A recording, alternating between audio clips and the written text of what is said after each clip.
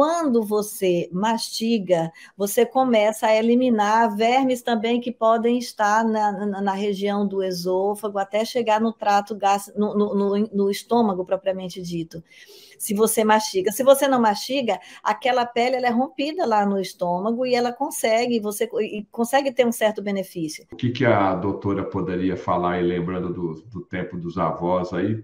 A desparasitação nessa fase. Eu quero pegar o parasita na hora da festa, digamos assim, né? E quando ah, o exame ó. de fezes não acusa vermes, ainda assim tenho que tomar remédio de verme? Ó, parabéns, Rosa, parabéns. Então, Não é pergunta boa? A semente de mamão tem que mastigar ou engolir inteira mesmo? Nem sabia que semente de mamão é importante. Qual mamão? Ah, mamão? É, é, muito importante. Qualquer mamão, é, Jefferson e Betete, é importantíssima.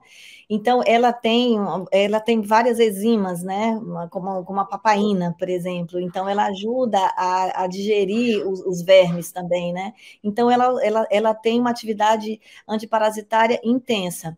Quando você mastiga, você começa a eliminar vermes também que podem estar na, na, na região do esôfago, até chegar no trato gástrico, no, no, no estômago propriamente dito se você mastiga. Se você não mastiga, aquela pele ela é rompida lá no estômago e ela consegue, você e consegue ter um certo benefício.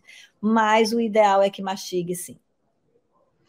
Além desse, dessa dica né, do, da semente de mamão, o que, que a doutora poderia falar aí, lembrando do, do tempo dos avós aí? Não digo para fazer o processo inteiro, né? Mas de repente algumas coisinhas de hábitos diários ou semanais já podem estar ajudando, aliviando ou evitando o crescimento dessa bicharada aí. Né? É, com certeza. Alho. Alho é a grande dica. Alho? O alho, o alho de qualquer maneira que você consuma. Se você faz a maceração do alho, né, porque aí você com isso libera a alicina, um dos princípios ativos mais importantes do alho, você auxilia muito o seu organismo. E também, Betete, nas lojas de suplementos é, naturais, existe o óleo de alho, né? Então, no óleo de alho, o óleo de alho, que aí é o principal componente, princípio ativo para atuar contra vermes, ele é fundamental. Muito, é, ó, o povo aí gosta de alho, então alho é realmente uma grande pedida. Mas tem outros, por exemplo, o mastruz, que é conhecido como erva de Santa Maria. O sumo do mastruz é muito bom também, né? Tem várias outras coisas também, né? O próprio hortelã-pimenta ajuda. O, a, a, semente de abóbora, Raimundo Nascimento, é sensacional. Né? Tem, inclusive, a semente de abóbora você mesmo pode fazer, né? Então, quando você retira a, a, a abóbora, né? As sementes da abóbora, você pode colocar, por exemplo, para para torrar, uma torra média, e ali tem um óleo muito muito especial, né? Esse óleo ele é anti, tem uma atividade antiparasitária incrível, muito boa. Então também auxilia. Bom, você já falou da questão da lua, mas só para reforçar, né? Qualquer hábito desse, não no processo completo da desparasitação, Sim. em qual lua que eu devo tomar um pouco mais de cuidado, então?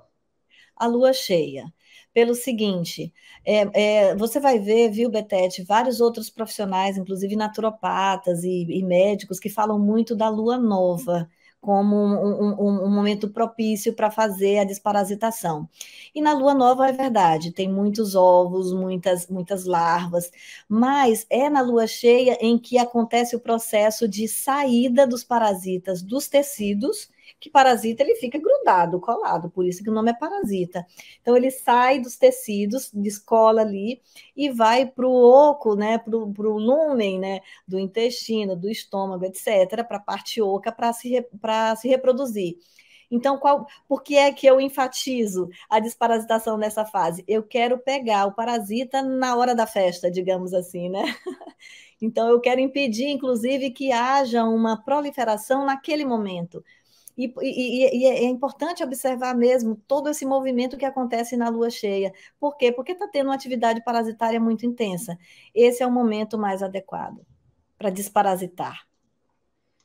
Pessoal, vamos dar like aí, pessoal, por favor, né? Vamos dar like aí. Você está assistindo, está recebendo esse conteúdo, compartilhe, escreva aqui no chat. Bom dia, boa tarde, boa noite. Faça sua pergunta aqui que eu vou esticar um pouquinho mais aqui, mas se tiver pergunta boa, né?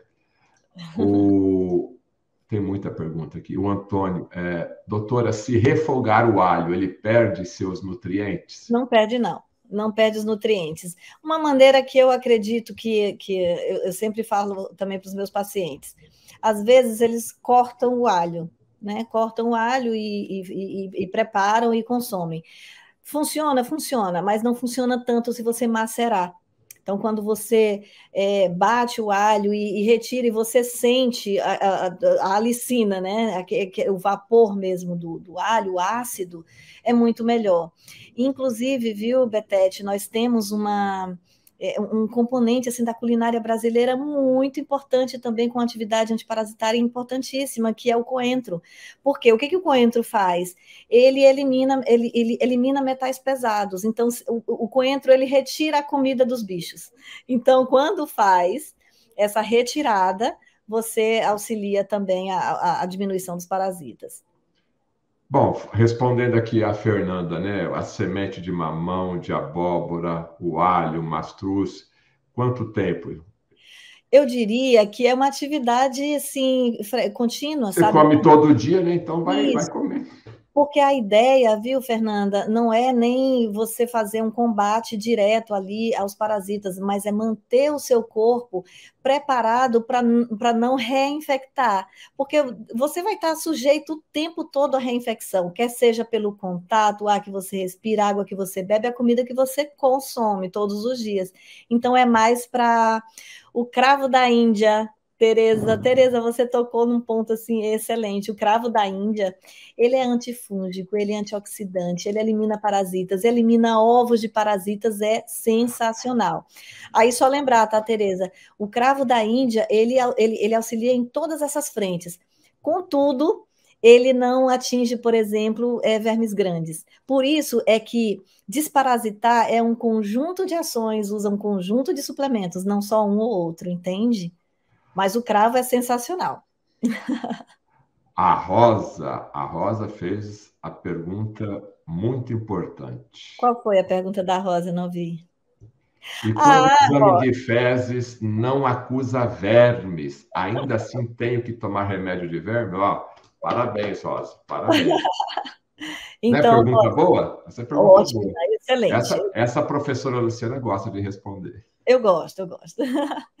Assim, eh, Betete, Rosa, você faz um exame de fezes e, e, e por que, que, que, que na, na, no exame de fezes não acusa? Porque o parasita não fica soltinho nas fezes, não. Né?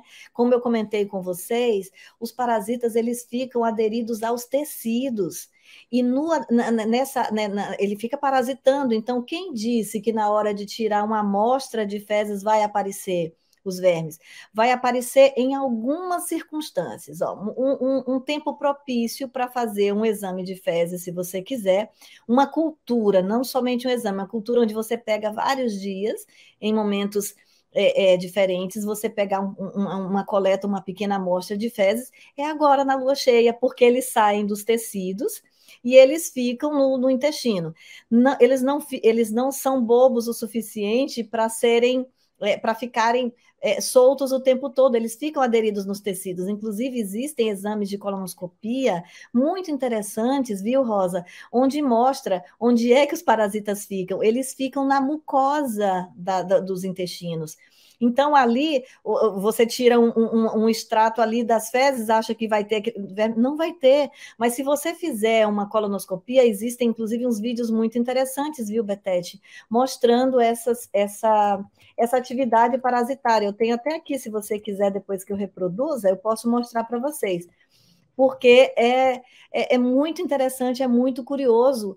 E, e não, não, vai aparecer nas fezes porque eles não estão soltinhos, então, mesmo assim, tem que fazer sim o exame de verme, né? O, o, o tomar os, os suplementos para eliminar vermes, com toda certeza. Perfeito. Outras perguntas, vamos lá. Maria de Fátima, boa tarde. A tintura do alho tem o mesmo efeito? Tem, um, tem efeitos semelhantes, porque, na verdade, quando se faz uh, os fitoterápicos do alho, é, Maria de Fátima, normalmente o que se aproveita em maior quantidade, que é o que tem, na verdade, maior quantidade, é a alicina, né? Que é o principal princípio ativo do alho. Entende? Ah. Quando a gente fala da, do óleo de alho, é por conta das cápsulas, entende? Tem gente que não tolera alho, né? O cheiro do alho é muito forte. Então, quando você tem, tem por exemplo, cápsulas de óleo de alho desodorizadas, então tem, mantém, preserva o princípio ativo, mas retira, por exemplo, é, o, o, o odor, né? Que é para muitas pessoas é desagradável.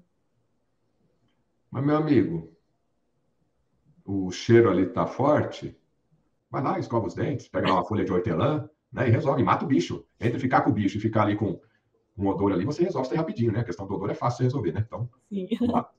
Então, nesse período agora, normalmente, existem até artigos científicos, Bilbatete, de alguns hospitais, antigos hospitais psiquiátricos, né?